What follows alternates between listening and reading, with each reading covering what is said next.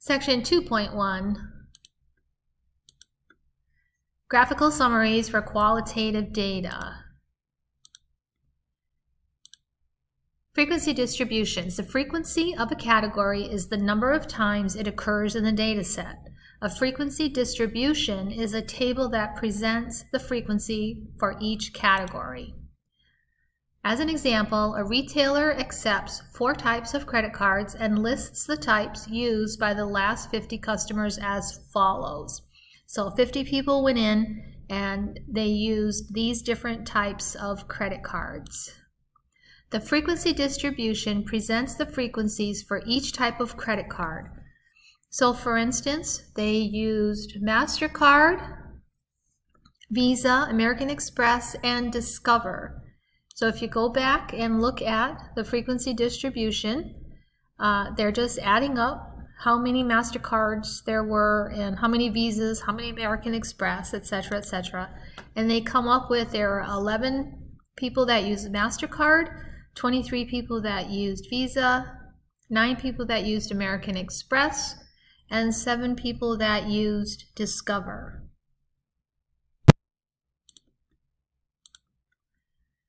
A frequency distribution displays how many observances or observations are in each category. Sometimes we are interested in the proportion of observations in each category. The proportion of observations in a category is called the relative frequency of the category. The relative frequency of a category is the frequency of the category divided by the sum of all frequencies. So the relative frequency is found by taking the number of how many people had the MasterCard, for example, and then dividing it by the total number of uh, people that actually did use credit cards. And you would do that for each one. So on the next slide, that's what they do. They take the total, which is 50. So they add them all up, 11, 23, 9, and 7. And those numbers, again, come from here. 11, 23, 9, and 7, that's the total. Then they take 11 divided by 50 and they get 0.22. Notice this is uh, as a decimal number. 23 divided by 50 is 0.46. 9 divided by 50 is 0.18, and 7 divided by 50 is 0.14. Those are the relative frequency. Notice they have three columns. They name one as the type of credit card, they name one as the frequency, and they have the third column as the relative frequency. A bar graph is a graphical representation of a frequency distribution. A bar graph consists of rectangles of equal width with one rectangle for each category. The height of the rectangles represent the frequencies or relative frequencies of the categories. Following are the frequency and relative frequency bar graphs for the credit card data.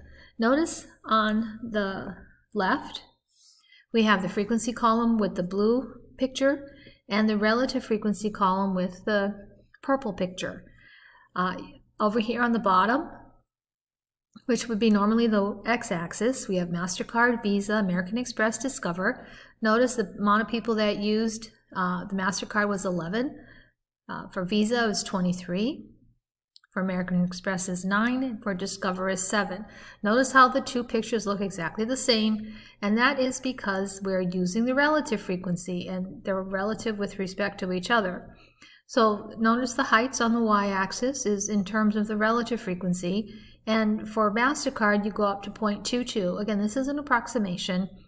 Visa goes up to 0.46, American Express 0.18, and Discover is 0.14. a Pareto chart. Sometimes it is desirable to construct a bar graph in which the categories are presented in order of frequency or relative frequency. Such a graph is called a Pareto chart. These charts are useful when it is important to see clearly which are the most frequently occurring categories. So pretty much it goes down. You got the 23, height, 11, 9, and 7, so they're in order of most to least. Horizontal bars. The bars in the graph or in the bar graph may be either horizontal or vertical. Horizontal bars are sometimes more convenient when the categories have long names. Uh, this happens to be employment of the U.S. residents in farming, forestry, manufacturing, uh, managerial, sales and office, other services. So it's just a bar graph, it's just going sideways. So here, this is in relative frequency. Notice the numbers are uh, decimal numbers, and again, it's just plotted how far out it goes. Side-by-side -side graphs, sometimes we want to compare two bar graphs that have the same categories. The best way to do this is to construct both bar graphs on the same axes, putting bars that correspond to the same category next to each other. This is called a side-by-side -side bar graph. Notice that we have a title, monthly active users.